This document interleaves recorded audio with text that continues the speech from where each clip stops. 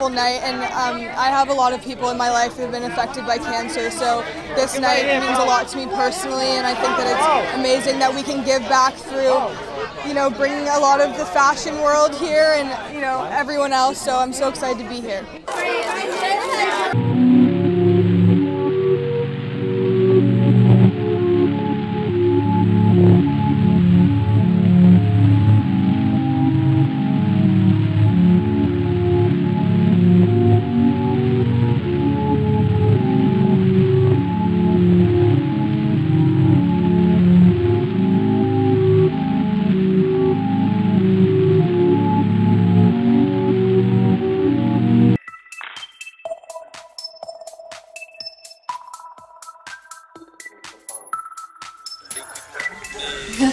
Hola, I love Aquaman.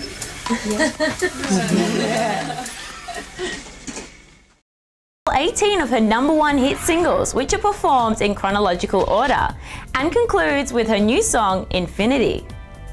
Jackie Chan supports the use of the death penalty for some drug offenders.